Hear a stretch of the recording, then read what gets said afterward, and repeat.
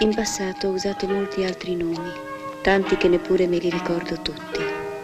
Durante il periodo della mia relazione con Kichizo, fin dal primo giorno in cui sono andata a lavorare nel suo negozio, mi facevo chiamare Kaio.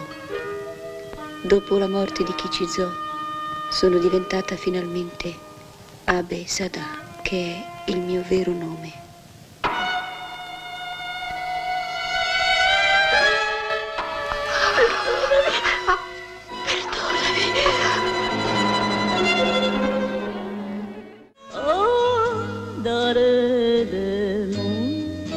들을 곳